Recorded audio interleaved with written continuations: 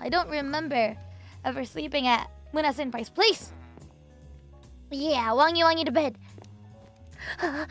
Wangi Wangi Senpai Moona Senpai Wangi Wangi Wangi Wangi Wangi Wangi Yes.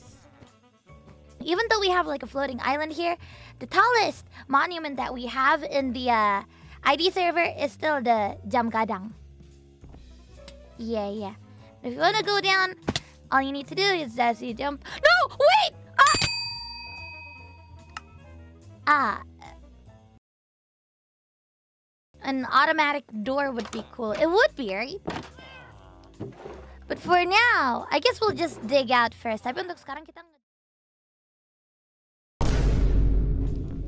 God, I want to be NTR'd by Ollie. Bob, what the heck? Bob! Bob! Listen, Bob. Just having you wangy wangy my my my if you want to sniff my chair, that's one thing. You wanting to get NTR'd by me, that's another thing. Go to a doctor or something. Eat tomatoes. Bob. I will remember this.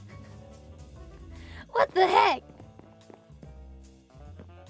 I don't know, tomatoes might probably make you a lot more say so. I heard that people do that.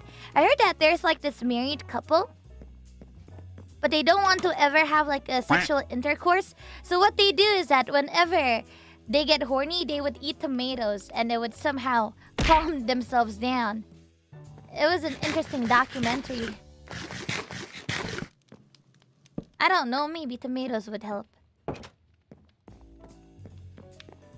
Yeah.